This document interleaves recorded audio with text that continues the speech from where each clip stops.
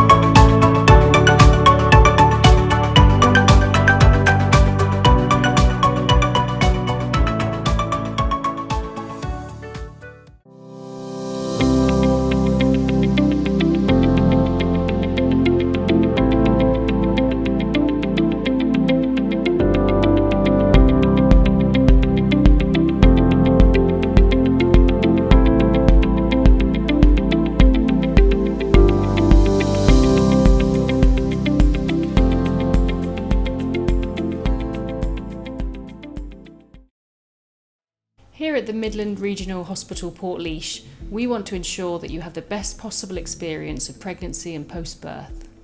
My name is Dr. Kat Hines and I run the perinatal mental health service here. Pregnancy is a time of great change physical, emotional, and psychological. It's important to be mindful of your emotional health and well being during this time.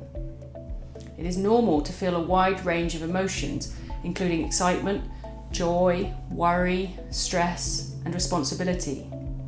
You are also pregnant during a very unusual time, a global pandemic, which contributes to new and unexpected challenges. You may need additional support in relation to your mental health, if your symptoms persist for more than two weeks, if your symptoms interfere with your ability to work or carry out your usual day to day activities, if your symptoms cause considerable upset and distress, or if you have suffered from mental health difficulties in the past.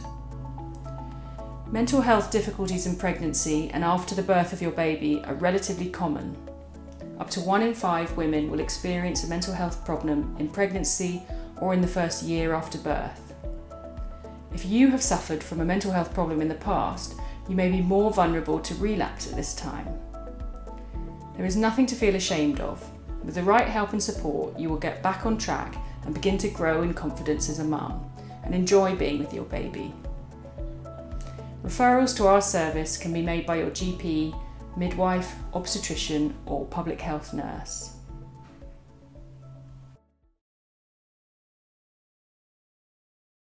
My name is Dr. Miriam Doyle. I am the obstetric clinical lead at the Midland Regional Hospital at Portlaoise. Together with my four colleagues, Mr. Hossam El Kanini, Dr. Neve Marr, Dr. Annabella Serenito, and Dr. Shobha Singh, we provide the consultant obstetric service at MRHP. You will be allocated to the care of one of the consultants. Each consultant provides a weekly antenatal clinic. Four are general clinics and one is a specialised clinic. This clinic is the combined obstetric endocrine clinic, otherwise known as the GDM clinic. Women with a history of pregnancy diabetes usually attend the clinic from the first visit. The care of women who develop diabetes during their pregnancy will be transferred to the GDM clinic. Our endocrinology colleagues, together with assistance of the clinical midwife specialist and dietitian, manage the diabetic aspect of the clinic. A new midwifery led clinic is being developed to provide care for low risk women this is a welcome addition to the current care options available. All women will have a formal scan at their booking visit. All women are offered an anomaly scan at approximately 20 weeks gestation. The obstetric consultants provide cover on a 1 in 5 basis for women admitted to the hospital. This means there is always a consultant on duty. However, the consultant on duty when you're admitted may be a different doctor from the consultant at your clinic. We work closely with other medical consultants, particularly the anaesthetic service, who provide the epidural service for pain relief in labour and anaesthesia for women who require a caesarean section or other procedure in theatre. We also work closely with other medical colleagues in radiology, medicine, and surgery. Our paediatric and neonatal colleagues provide care as required for your newborn babies. While most babies will not require immediate review after birth, every baby will have a paediatric review prior to discharge from hospital. Resources such as mychild.ie and whatsupmum.ie are helpful in addition to the advice available from the team when you attend the clinic. We encourage all pregnant women to avail of the COVID vaccination, flu vaccination, and pertussis vaccination.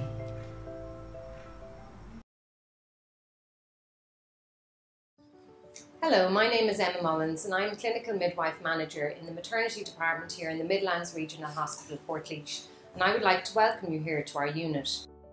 The midwifery unit is situated on the second floor and along with our delivery rooms we have a lactation room and the Willow Suite which is a bereavement suite designed specifically for women and their partners who have had a pregnancy loss. Midwifery care in the maternity department aims to deliver safe, high quality, woman centred care. Giving birth is one of the most significant, rewarding, and positive life experiences. Childbirth is viewed as a normal physiological process. Midwifery care is provided in partnership with the woman and her partner and in collaboration with other healthcare professionals. On the corridor before the delivery suite, we recommend the hopscotch station. This is a useful tool to help and support you on your birthing journey. The delivery suite offers a home from home environment whereby women can avail of various birthing options, such as the multi track chair and sling, the birthing stool, the birthing ball, and the peanut ball. Hi, my name is Susan and I am one of the midwives here at the Midland Regional Hospital Portlaoise. Today I want to talk to you about midwifery-led care and our midwifery-led antenatal clinic here in the hospital. Midwifery-led care is when a midwife is your lead healthcare professional who will look after you and your baby throughout pregnancy, labour and birth.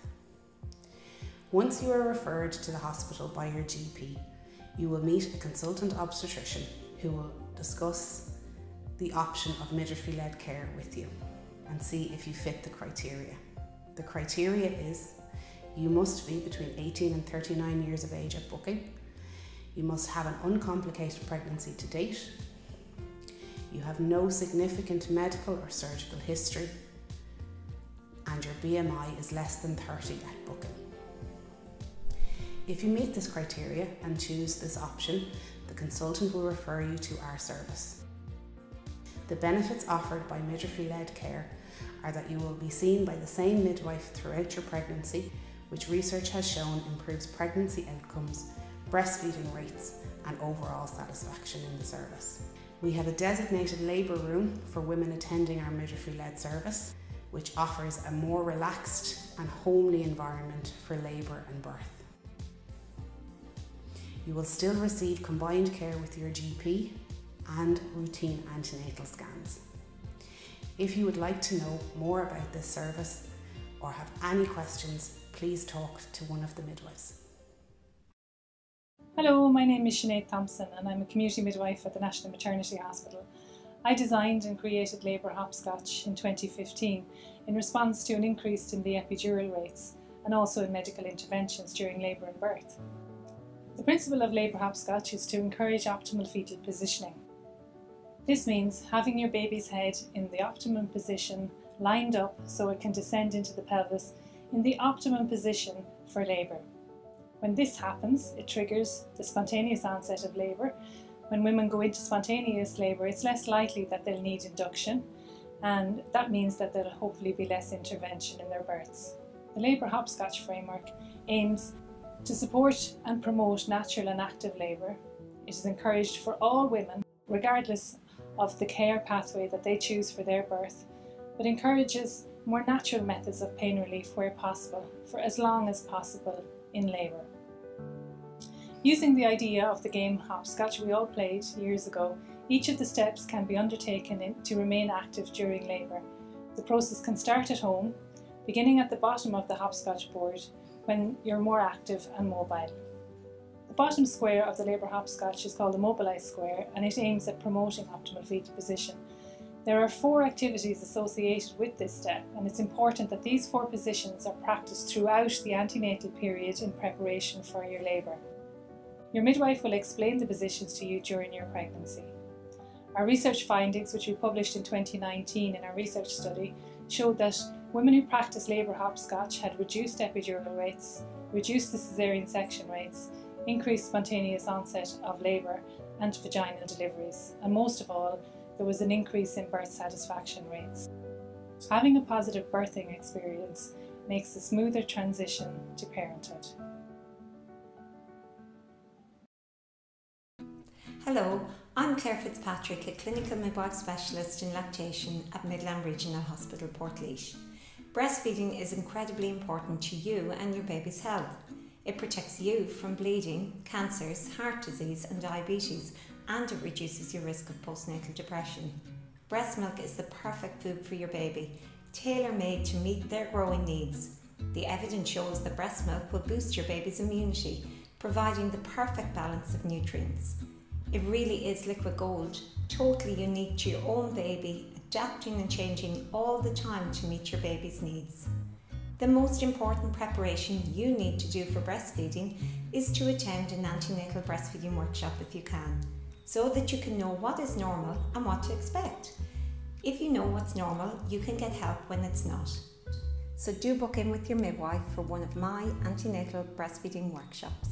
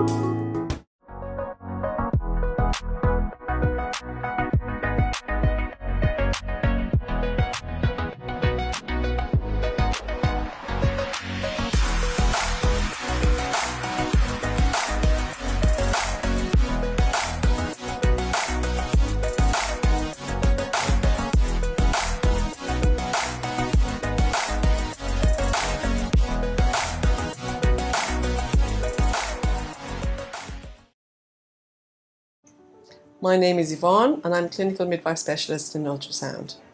Myself and my colleague Aideen performed a majority of the booking and anatomy scans in Portlaoise Hospital.